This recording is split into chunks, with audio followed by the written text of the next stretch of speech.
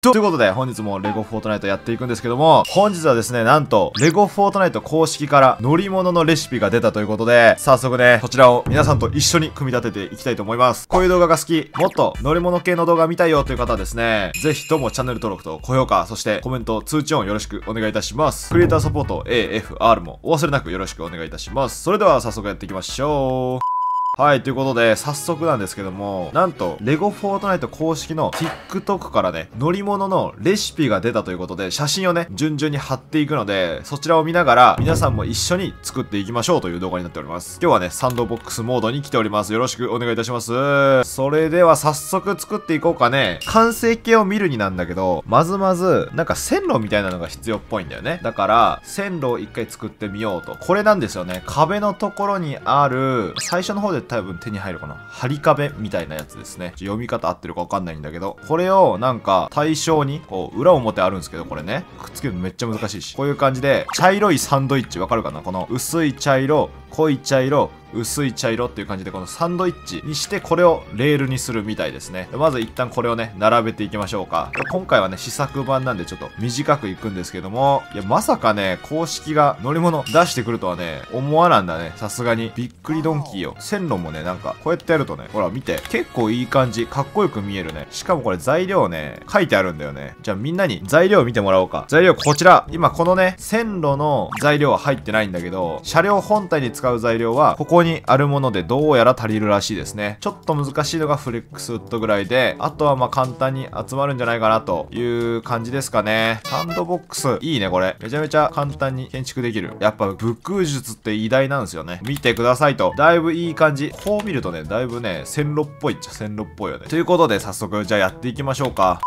まずなんだけど、1番ね。1番が柱の絵じゃん。まあ何でもいいんだとは思うんだけど、さすがにね、同じ形状なら何でもいいと思うんだけど、僕は一応忠実にね、やっていこうかと思います。まずこれですね。宮殿の柱を使うらしい。宮殿の柱1だね。これを置きます。そしたら続いて、また指示だね。将軍のシリーズで横向きのやつ。宮殿の指示針、丸3っていうやつを使うらしい。これを、ちょ今から見せるけど、わかりやすいようにね。こういう感じで、この柱の2マスあるじゃないですか。こう、1、2ってね。その、こっち側だけ埋まるように、こういう風に上から見ると、なると。で、ここから、どうやらちっちゃいタイヤね。ホイールショーを4つかな並べて、つけていくと。こう、1、2、3、4、こんなキツキツじゃないかも。これ以上キツキツすぎるな。ちょうどいい塩梅で、まあこんな感じかな？こういう感じでホイールショーを4つつけます。で、そしたら、さっきの宮殿の指示針3をもう1個ずつつける。こうやって広げる感じだね。わあ、間違えた。これ多分ね、違うわ。普通に置こうとするとこういう感じで段が上がっちゃうから、そこは気をつけて、うまく高さを合わせて、こういう風にね、置くと。こうだね。今のところ横から見たらこんな感じ。なんかもう、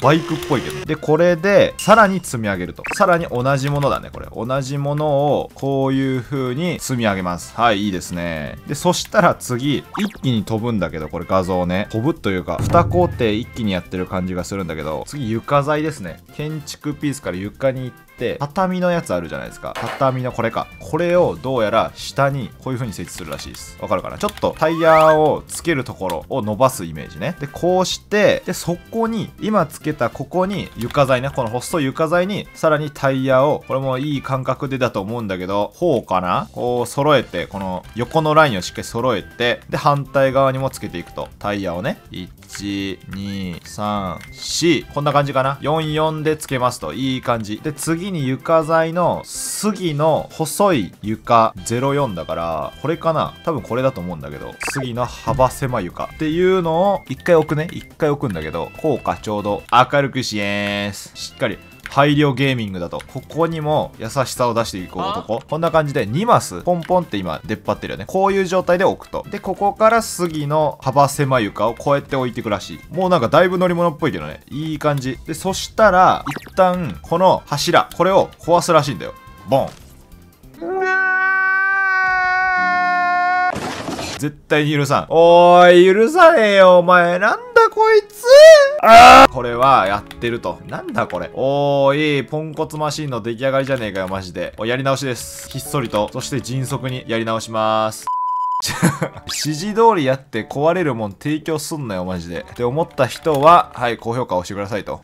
意味わかんないだろ。指示通り作って壊れるマシーン。で、はい、ここまで戻ってきたよ。戻ってきて、これを、ボンふざけんな、あはい、レゴフォートナイト公式うんちです。いや、マジで指示通りだよね。みんな画像を見てると思うけど、マジで指示通りなんだよ。本当に指示通り作ってる俺は。こんなことある？皆さんここでつまずいてる人多いんじゃないでしょうか僕は絶賛つまずき中です。つまずきすぎだろ。なんで同じ機械2回も落とさなきゃいけないんだよ、マジで。わかったこれわかったぞ。これね、重量の差をなくすために、タイヤをさ、互い違いにつければいいんじゃない？こっちにつけるやつと、こっちにつけるやつね。これ分ければ、いい感じなんじゃないかな。この間結構すごくない？革新的。誰があの説明書で読み取れるって話やけど、それ、もしこれを意図してたらね、公式が。わかるわけないけどね。これで落ちたらもう知らんけどね、もう。で、ここからよ。戻ってきた。やっと戻ってきたよ。で、これを、壊すと落ちちゃうかもしんないから、一回ちょっと、これ保険、保険貼っといた方がいいね。今からでも入れる保険ありますか？言うて、CC ピースが必要。うるさいな。物理的に落ちれない状況も作っておきながら、これで落ちれないでしょ。で、壊してみる。オッケー、オッケー、オッケー、完璧。いいよ。こう引っかかってる、引っかかってる。で、で、で、で、で、で、こっちも壊す。いいよ。いいよ、いいよ。まだ再起可能。おい、こんな難しいわけあるかい？で、これで、わかったわかったわかった。何これ？そうそうそう。もう一回これやると多分浮いちゃうよね。こっち頼む。頼むから。頼むからもう同じとこで詰まってんだよ、こっち。お、埋まったぞ。ねえ、公式さん。NO! あんま端っこにつきすぎるとさ、多分浮力が強くなるからストップオッケーオッケー来た来た来たみんな来たみんな来たはい、地獄の調整を伴いまして、ようやくね、はい、完成いたしました。まだですけどね。まだ番号途中ですよ。ここからですよ。しっかり解説していきますね。はい。柱壊す9番終わったら、今壊して、この2マス空いてるとこ、ちょうどはまるんで、ここに置くと。はい、完璧。10番。で、11番。こっからです。こっからおしゃれになってくよと。公式がシャレこき出したと。これね、多分すべて無料のピースだから、いけると思うな、みんなも。買ってない人でも全然いけますね。で、この中世の手すりのコーナー02を4つ角にまず置きましょうと。はい。置きます、置きます。そして次に、これかな ?04 がピぴったりはまるので、04をぴったりはめていきましょう。はい、いいね、いいね。で、ここから次、ランタン置いてるな。別にやらなくていいと思うんですけど、完全指示通りに僕は今日はね、行きたいと思います。せっかくね、公式が説明書出してくれたから、まあ、乗っていこうと、その波にね。で、こう、ランタン4つ角に配置したら次に、ベンチかな？大広間のベンチかな？多分。これを、ポン、ポンと置きますと。オッケー。で、その後に、どうやら、はい、出ましたと。スラスターです。進みたい方向にかな？これは多分。こっちかな？タイヤが出っ張ってない方につけてる気がする。さっき柱を壊した方だね。そこに、こういう風に置くのかな？こう。で、レバーをつけて、なんかこの辺につけてるけど、ちょ怖いんで僕真ん中につけますね。はい、レバーつけて、はい、完成ですということですね。ちょっと待ってね。ちょっと怖いね。これ発信させたら多分もう二度と使えなくなる気がするから、せっかくだからじゃあ、線路もうちょっと伸ばしておくか。この動画見てくれたね、みんながこう役立つ情報ですから、これ。無駄に作ることはないかもしれんし、めっちゃ便利かもしれんし、超安定してるかもしれないからね。公式が出すからには、やっぱ死ぬほど安定してるのかもしれん。だみんなこれ使ってね、ということかもしれないから、まあ安心してよと。いいよいいよ。停止システムとか作んないと多分、やばいよね。はい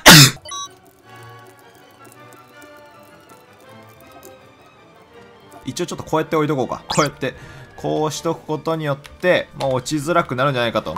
それでは早速ね、乗っていきたいと思いますよ。ようやく完成したとこちら、公式が発表した乗り物でございます。じゃあ早速乗っていきましょう。それでは、公式が発表した乗り物まで、3、2、1、GO! おー、すごいぜ。いいんじゃないいいんじゃない？めちゃくちゃいいやん。これ座りながらとか、そういうこともできちゃうわけですね。多分。やばい、やばい。おー、怖いねで、これ、どうすんだろうね。帰りたいとき。あっち行きたいよっていうときは、どうすんだろうね。公式さんも想定してないと。こうしたらどうなる？こうして、で、こっち壊すのよ、多分。資材がこういう風に回収できるようになったからね。これで反対向きも問題なく動けば、まあ使えると。いきます。ゴーえ、いいんじゃない？割といいんじゃないかと。ちょっと作るのうんちだったけど、座りながらね、いけるわけですよ。いいんじゃないんですかと、これ。やばい落ちる落ちる落ちるやばい残骸たちが。はい、ということで、こんな感じで、公式が発表したおしゃれな、モノレールかなこれ。作ってみました。いや、まあまあまあ、安定性はあるんじゃないかな。まあ、さすが公式が出すだけあって、まあまあいいものができたんじゃないかと。ただちょっとこれ、一つ難点が、折り返すのが非常に難しいと。一回頑張って、スピードをちょうどね、緩めて、で、スララスター付け替えて発信するといけるね。かかる手間それぐらいだから、まあ移動はね、めっちゃ楽になるんじゃないかと思います。あとは、落とすのむずすぎね、このレールの上ちょうどに。それはね、めちゃくちゃ皆さん気をつけてほしいところですね。